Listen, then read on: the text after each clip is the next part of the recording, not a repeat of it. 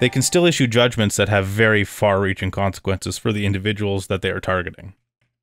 And even finding yourself subjected to a human rights tribunal, the social cost and employment cost, and even if you're found, it's like not guilty by this tribunal, like you carry a certain baggage with you. And this can be a low cost, like a low cost complaint with a high procedural harm. Like it's the the damages of somebody going through months getting put through the ringer, um, the stress of, of this proceeding, like that, and the social cost after. Like it, it's hard to get that off of your name um, Mhm. afterwards. I e- even if they are not criminally charged with something, I, I think the harms are numerous.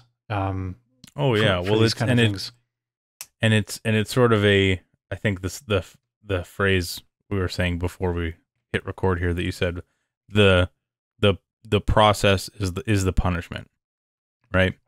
Yeah, Whether or not that comes with a financial or a professional cost, there is yeah, like you say. I mean, okay, well now I have to waste. You know, if I want to keep my license or I want to keep my certification in such and such a field, and I have to subject myself to months of this garbage, you know, being torn apart publicly by these people who, you know, have no right to be doing so.